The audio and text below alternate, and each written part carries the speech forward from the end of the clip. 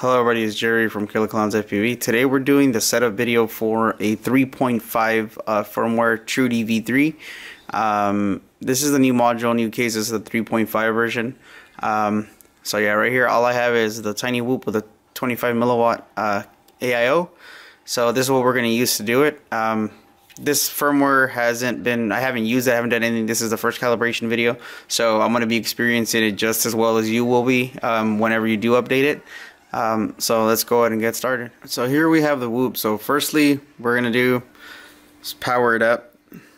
Now I'm gonna go ahead and get some plugged in. I'm going to set set that one aside. Now we'll power up the module.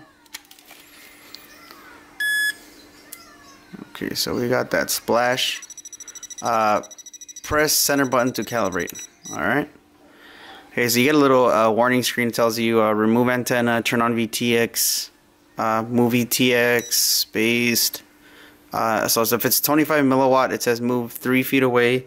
If it's uh, 200 milliwatt, it says 8 feet away. If it's 600 milliwatt, 15 feet away. So okay, go ahead and move the whoop out of the way. Alright, so we got it 3 feet away. I'll go ahead and uh, hit center. Are you ready? Yes.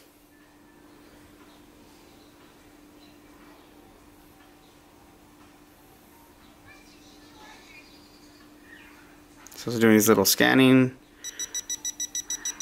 Just to achieve uh, max value 360, move VTX closer and press center button to try again. Okay. So you get the same prompt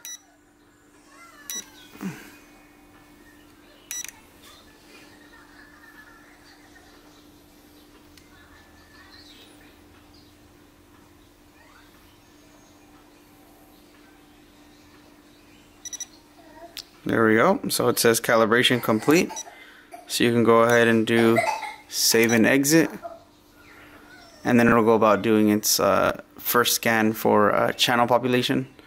But that's the setup. That's really as easy as it is. It's just plugging in the thing, set up your um, your drone wherever it's going to be, power up your VTX. No antennas on this. I mean, this thing walks you through it. So um, pretty damn cool. This is that's the 3.5 firmware. So anybody with the 3.0 or the regular two, uh, uh, the True-D V3, uh, you should be able to download it. And I'll put the link down in the description so you go ahead and download the firmware. Um, but yeah, that's a 3.5 uh, setup and calibration. Thanks for watching. See you guys next time.